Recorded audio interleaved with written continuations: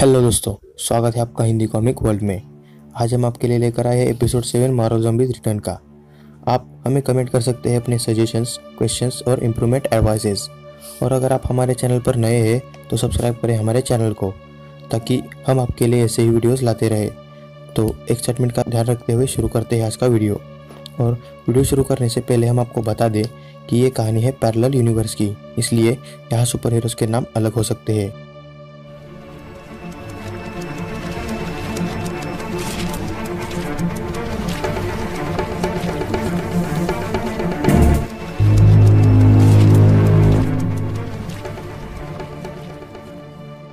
सबसे पहले हम देखते हैं आर्चर का एवेंजर टावर जिसके बाहर नज़ारा देखकर यह समझने में देर नहीं लगती कि यह वर्ल्ड भी इन्फेक्टेड हो चुका है हंगर से।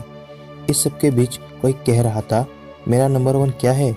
मैं तुम्हें बताता हूँ मेरा नंबर वन क्या है। एवेंजर टावर में सारे सुपर हीरोज में बहस चल रही थी, जहाँ सेंट्री मैन ऑफ़ गोल्ड कहता है, याद है जब यूनाइटेड नेशन जनरल असेंबली ने अपने आप को सीक्रेट बिल्डिंग में बंद कर लिया था? उस पर Quasar wielder of quantum bands कहता है ये तुम्हारा नंबर वन है। मुझे तो लगा था ये गार्जा की वजह से हुआ था। तब Moon Knight world's greatest detective कहता है, ये तो अजीब बात है। उस पर सब मरीनर बताता है, जो कि किंग ऑफ़ सेवन ओशंस था, तुम पागल हो रेनॉल्ड्स, जब अटुमा और उसकी सेना मरीना ट्रेंच में छुपी थी, ये सोचकर कि वो सेफ़ है, उनका चेहरा देखने लायक था। तभी थंडरा और फीमेल सोसाइटी की वॉरियर वुमन कहती है, चुप रहो मछली मानव वुमेंस प्रिजन जो क्वेश्चन ने फोर्स बबल में कैद कर लिया था, वो था नंबर वन मैंने सिर्फ़ उन्हें छील दिया जब उन लोगों ने भागने की कोशिश की। उस पर quick silver fastest man alive या डेड कहता है, वो तुम्हारा नंबर वन है। तुमने कभी आदमियों का मांस खाया भी है, जिसे तुम्हें हमेशा परहेज रहता है? उस पर थंडरा कहती है, मुझे अपनी वॉरियर वुमन बॉडी दूषित नहीं करनी। सेंट्री कहता है, मैं भी यही कह रहा हूँ। तब मून नाइट कहता है हाँ यूएन के लिए तुम्हारा ही नंबर वन होगा। तब सेंट्री आगे बताता है कि उसने उन लोगों को कैसे खाया था।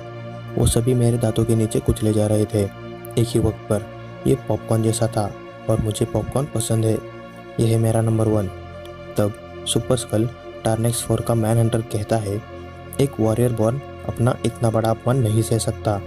तुम अपने टूटे किले में हँसी मज़ाक करने में व्यस्त हो, जबकि हमारी ट्रॉफी रूम हमारा मज़ाक उड़ाते हुए कह रही है लड़ने के लिए दुश्मन और तबाह करने के लिए कोई ज़िंदगी नहीं बची। अब हमने दूसरी दुनिया की आर्मीज जिसे अनडेड लीड कर रहे थे, उन्हें हराया, जो कि टेलीपोर्ट हुए थे, जहाँ वायरस पहली बार देखा गया, जहाँ पर अनडेड वास्प क्री के होम प्लेनेट पर उन्हें लीड करती दिखाई दी।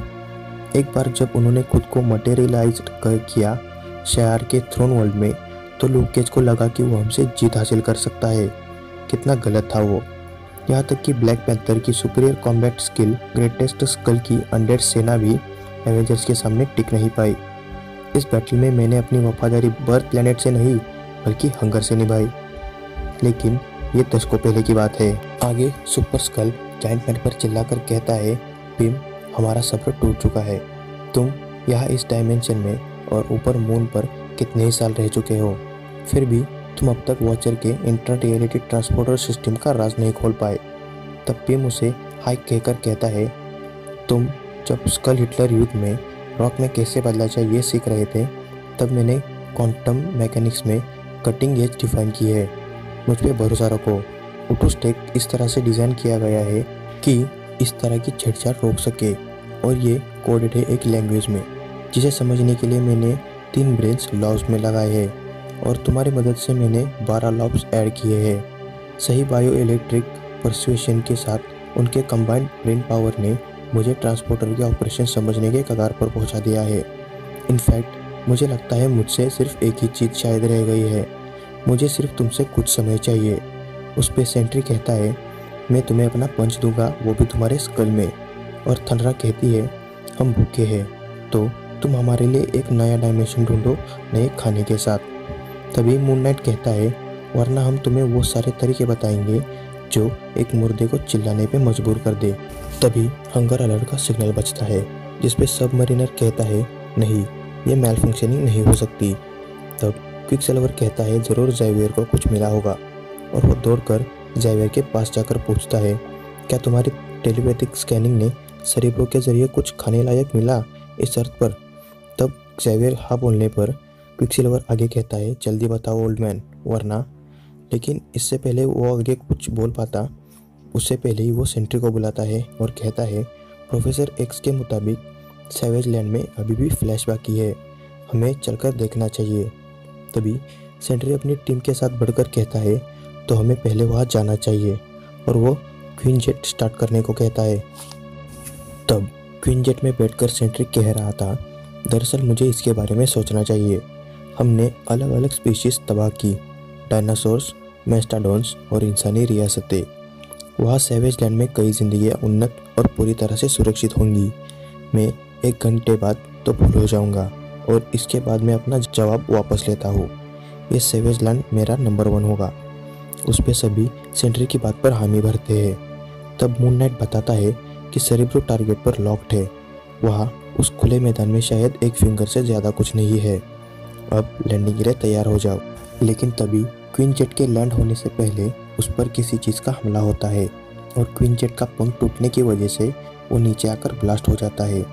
उस पर स्पाइडरमैन कहता है, तुम लोग लकी हो जो तुम पहले ही मर चुके हो। इसलिए मैं इस अन लाइफ से बाहर निकलना चाहता हूँ। जब से मैंने मेरा सब कुछ खो दिया जो मेरी दुनिया में था मेरे पास। और अब इस मल्टीवर्स से तुम जैसे फ्लैश ईटर्स का सफाया करना है हमेशा के लिए।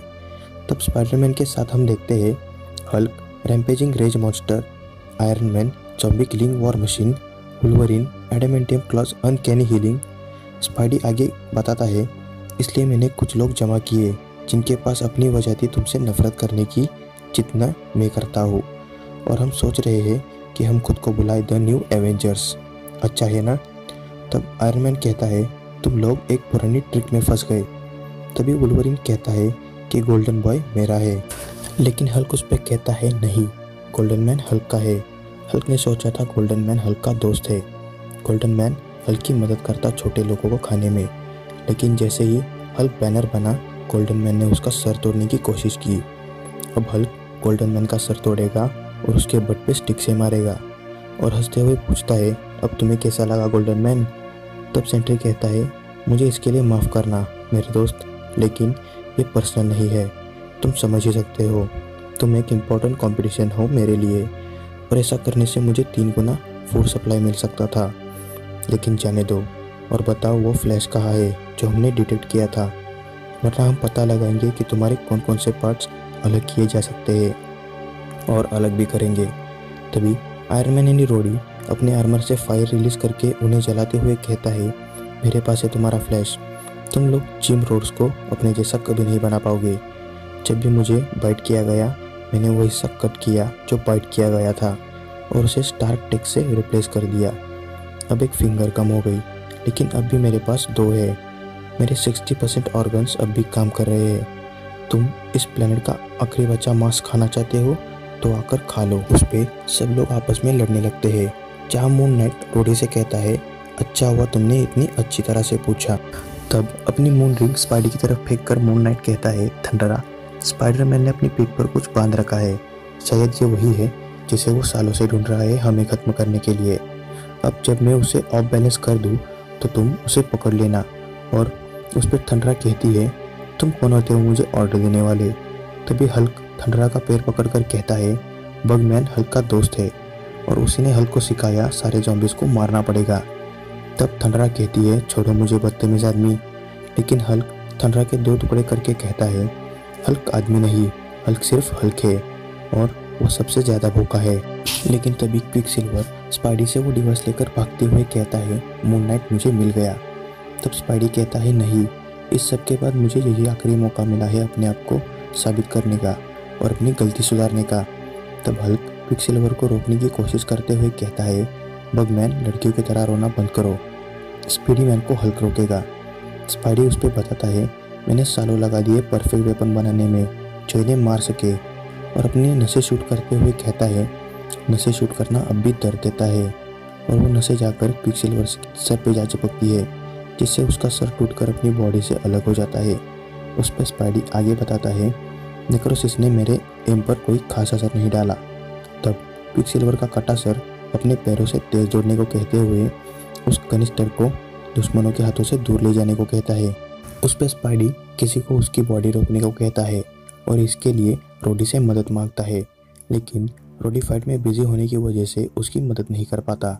तभी दूसरी तरफ़ सेंट्री वुल्वरिन से लड़ते हुए कह रहा था, ये तो मिसमैच है। तुम्हें नहीं लगता, लिटिल मैन? उस पर वुल्वरिन कहता है, जिस तरह से मैं देख रहा हूँ, हम इस वक्त एक अनस्टॉपेबल फोर्स से डील कर रहे हैं। मैं वो नहीं भूल सकता जो तुमने किटी ब्रैड के साथ किया। कौसर ने उसे पानी के नीचे पकड़ रखा था, जब तक उसका दम नहीं घुट गया, और उसे मजबूर किया अपने सॉलिड फॉर्म में आने को, और फिर सब मरीनर ने। इससे पहले वो आगे कुछ कहता सेंट्री उसे मारकर दूर फेंकते हुए कहता है टचिंग पर बेतुका है और मैं तुम्हारे लिए अनस्टॉपेबल फोर्स और इनमूवेबल ऑब्जेक्ट दोनों ही हूँ। उस पर उलवरिंग कहता है अनस्टॉपेबल अगर तुम अनस्टॉपेबल हो तो मैं भी कटेबल काम में लंबे समय से हूँ और इतना कहकर वुलवरिन अपने क्लॉज सेंट्री के आर पार कर देता है। तब सेंट्री के शरीर से एनर्जी रिलीज़ होने लगती है, जिस पे वो कहता है इडियट क्या तुम मिलियन एक्सप्लोडिंग सन्स की पावर रिलीज़ करना चाहते हो?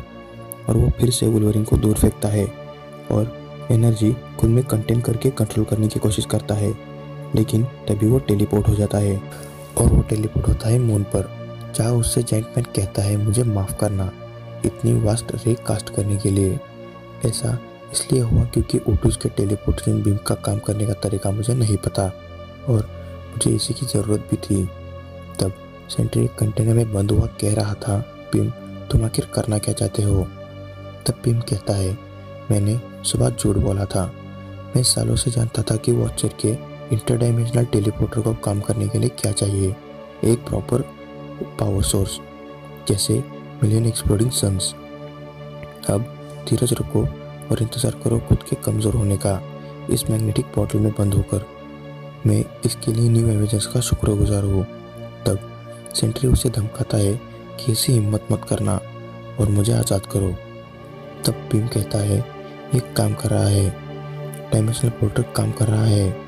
एक नया डायमेंशन पूरे मास के साथ। तब स्पाइडी क्विक सिल्वर का पीछा करते हुए कह रहा था न्यू एवेंजर्स हम इन्हें एक और वर्ल्ड पोल्यूट करने नहीं दे सकते। रोको इन्हें और इसके लिए कैनिस्टर को खोलो। उस पर आयरमैन कहता है copy that heat seeking missile तो हम पर काम नहीं करेगी, लेकिन हम मोशन सेंसर्स ओवरहेड इस्तेमाल कर सकते हैं। और वो कहता है लोगन अब वो करो जिसमें तुम बेस्ट हो। तभी पिक सिल्वर मिसाइल के धमाके में मारा जाता है और कैनिस्टर उससे दूर चला जाता है। तभी लोगन अपने क्लॉथ से वो कैनिस्टर काट देता है, जिसमें से बाहर रेत निकलती है। उसमें मूनलाइट कहता है सैंड तुम्हारा सीक्रेट वेपन हमारे खिलाफ सैंड है।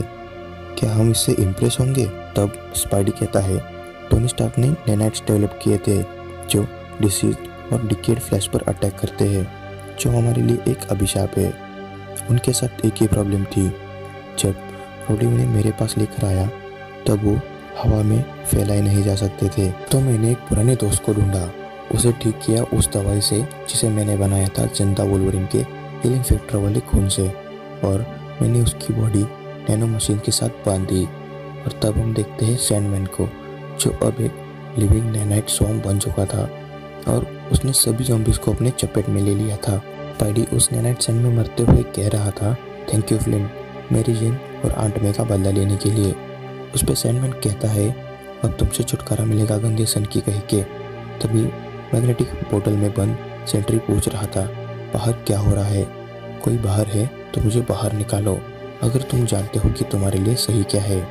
तभी चैटमैन मरने के बाद उसके कॉस्ट्यूम में से प्योर एनर्जी बाहर निकलती है, जो कि थी वॉचर की प्योर एनर्जी। जो कह रहा था फैसिनेटिंग तब सैनमैन पूछता है, उन्होंने मुझसे कहा था कि आप मर गए। उस पर वॉचर बताता है, मुझे यकीन है कि उन्होंने कहा होगा। लेकिन अनंत सदियों पहले मैंने और मेरे वॉचर भाइयों ने अपनी बॉडीज को प्योर एनर्जी में कन्वर्ट किया था। मैं तुम्हारे जेंट मैन के हाथों तबाह नहीं हुआ। मैंने सारे इवेंट ऑब्ज़र्व किए इनडायरेक्टली और सोचने लगा अच्छा तरीका इस सब पे रिएक्ट करने का। और समय ने हमेशा की तरह एक परफेक्ट सोल्यूशन दिया। जो हुआ उसे हम बदल तो नहीं सकते, लेकिन कंटेन कर सकते हैं। और वॉचर अपनी पावर से सेंट्री को टेलीपोर्ट करने लगता है जिस पे सेंट्री कहता है, तुम ये क्या कर रहे हो? और तुम्हारी हिम्मत कैसे हुई ऐसा करने की? मैं ये नहीं करना चाहता। तुम सुन रहे हो? मैं वापस आऊँगा, बदला लेने के लिए। तब वॉचर सेंट्री को टेलीपोर्ट करते हुए कहता है वॉचर होने के नाते ये मेरा फ़र्ज़ है कि मैं बताऊँ, जो मैंने ऑब्ज़र्व किया।